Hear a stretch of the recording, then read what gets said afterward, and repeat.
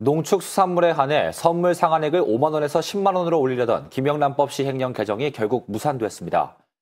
법이 개정되면 다소 숨통이 트일 것으로 기대했던 전남 농어민들은 실망감을 감추지 못하고 있는데요. 여기에 반발 움직임까지 보이고 있습니다. 신민지 기자가 취재했습니다. 영광법성포에서 대를 이어 굴비를 팔아온 강철 씨. 지난해 9월 김영란법이 시행된 이후 매출이 30% 넘게 줄었습니다. 농수축산물에 한해 선물 상한액을 10만 원까지 올리는 개정안에 큰 기대를 걸었지만 부결되자 실망이 이만저만이 아닙니다. 부결되다 보니까 상당히 또 고민이 깊다. 이렇게 보시면 될 것입니다. 이번에 이제 완화가 되었으면 아마 판매가 자연스럽게 수없게 되지 않을까 이렇게 생각하죠. 국민들을 여론을 수렴해서 이 문제가 해결되어야 되지 않느냐 이렇게 생각합니다.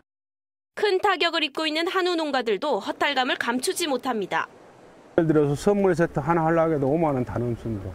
개정 안 된 것은 너무 아쉽죠. 너무 아쉽습니다.